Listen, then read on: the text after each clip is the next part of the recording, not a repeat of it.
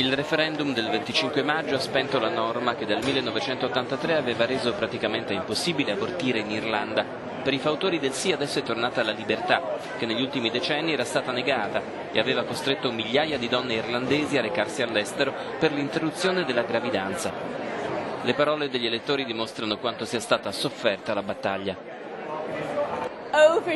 Sono felicissima, estasiata, aspettavo questo momento da molto tempo. Avevo votato nel 1983 e questa è una grande vittoria per le donne, per gli uomini, per le future generazioni.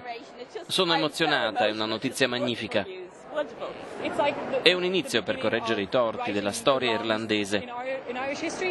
Il maggiore gruppo antiabortista parla di tragedia di proporzioni storiche, ma sottolinea che un errore non diventa una cosa giusta solo se la maggioranza lo approva. Il timore dei tradizionalisti è l'approvazione di una legge molto permissiva. La campagna del no che ha incoraggiato gli elettori a mantenere il divieto ha riconosciuto la sconfitta. Gli attivisti dicono che sono delusi dai risultati, ma continueranno la battaglia su questo tema. Il primo ministro irlandese, Leo Varadkar, che è un medico, sostenitore del sì, parla di vittoria storica. Vincent McAviney, Euronews, Dublin.